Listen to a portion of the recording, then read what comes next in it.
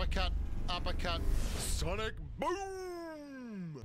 Well, hello there, humans, hippies, earthlings, whoever you are, wherever you are, whatever you're doing, and if you're lucky enough indeed to be doing it too. Welcome back to Channel on Bushka, and today we're going to be looking at the Tier 10 American Heavy, the M6 Yoh.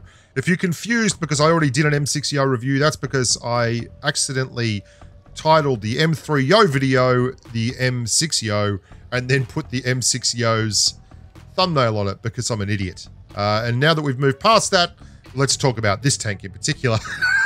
the, the, professionalism never went away, guys. I've still got it. Uh, and this is how so many of my games in this tank ended. I had the great joy of playing this tank on patch day where, wow, just holy ballsacks, Batman. It was a grim time out there. There was a lot of stuff that you just had absolutely no chance of winning the game despite your best efforts. And I had a lot of 3 to 4K just thumpings where we couldn't quite get across the line. I am a little bit on the fence about this tank. I take into account the fact that the teams are crap, but I have issues just about the whole theory of the M6Yoh. I'm going to talk about it through the lens, the cipher of two tanks, the Type 57 Heavy and the uh, Kranvagn Hagen Wagen does, the ice cream flavor we all know and enjoy. And the thing I like about those two tanks are they are so clearly defined what they do. There are no trade-offs with what they do. They are unequivocally, one is just a monster hold heavy, and the other one is an absolute arse load of damage in your face heavy. The Yoh is defined by its gun. Its armor profile is middle of the road. It's not great. Its mobility is okay for a heavy, but again, it's not crazy good.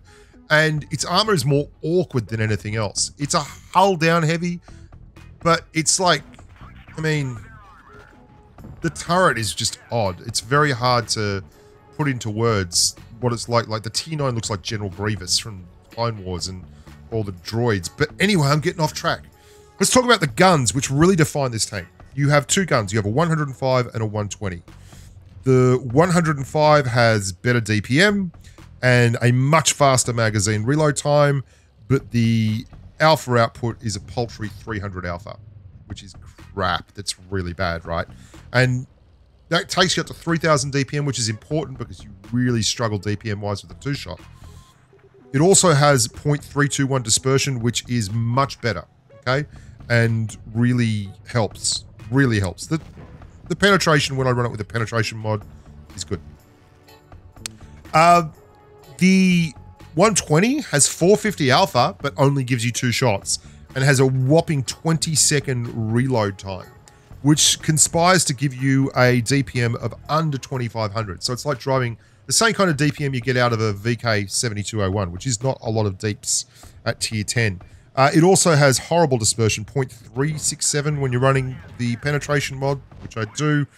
But the shell reload time is 1.71 seconds. It means it reloads the shell really quickly and you can dump. The problem with this is really, really tough. That there are just too many penalties for me on these two rounds. Hear me out. In five seconds, you can fire three shells with one gun, the 105 millimeter. You can do the same in the 57 heavy. You can fire three shells in the 57 Heavy that do 1200 damage, or you can fire three shells in this that do 900 damage. And sure, this reloads five second faster, but that's not always a point in your favor. Like, that's surplus value so often. Like, you, if you dump three shells in someone, they're probably not coming out again anytime soon.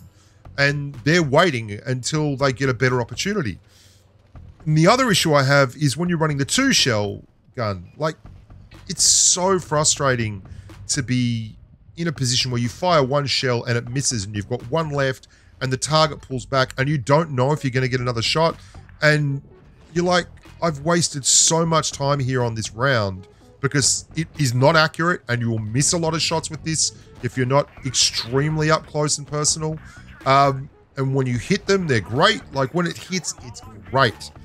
But when it doesn't hit, it's like, oh, this is a long time between drinks. And your DPM is such that when you get pushed, you're just eating it. Like you've got to have some kind of support. You cannot be caught alone with this two-shot gun. It's not a lot of fun when you get caught alone with the two shot. It's DPM tough, everything tough, lots of problems. And this is what I mean. It's kind of in the middle. Its armor is okay if you're hull down, and you should be hull down. It's it's pants otherwise. Um, I mean, it's strong enough to get you by, but it's not OP at all. Like, we're not talking that. And the gun, this is like a really good shot for this gun. Like, not, not kidding. That's a good shot for this gun. You can see how quickly it can dump the damage. Like, very, very fast. Very, very fast. I will hazard a guess, because I did not play this in Platoon. If you duo up with someone, this guy's still saying idiot heavy tank. It's FV. Good on him. Thanks very much for the 4.5k. Um, I give him a lucky player just to keep his spirits up. Uh, this is the thing. If if you're playing this as a damage heavy, well, there are better heavies, even in the American line than this. If you're playing it as a hold the line heavy or a breakthrough tank, then there are much better tanks than this. And that's that's a really interesting kind of paradigm. You'd probably just there's a lot of tanks you can get that are better than this at doing those two things. And I found it very frustrating that I wanted to run the 450 Alpha gun, but good lord, it was so hamstrung at times. Like, if you run the three shotgun, that Batchat there, if you run the three shotgun, the Batchat has better alpha than you. Like, I'm, I was, I was like, seriously, like, this is a pretty rough gig to have to run the three shotgun and like, know, your Batchat running around with a three shot gun with a 14 second reload that does 310 alpha. So it actually has more alpha in the strike than you do. And yeah, I I just couldn't turn it into something that was that intimidating. 300 alpha at tier 10 is just not that intimidating. But you need to run this gun, I found, to be able to defend yourself in the situations that happen so often in Blitz where you're forced to brawl another heavy tank.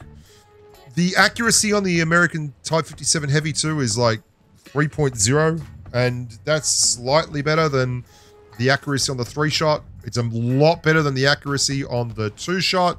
We ate that one. We just wanted to get the chance to clear this bloke. Uh, there we go.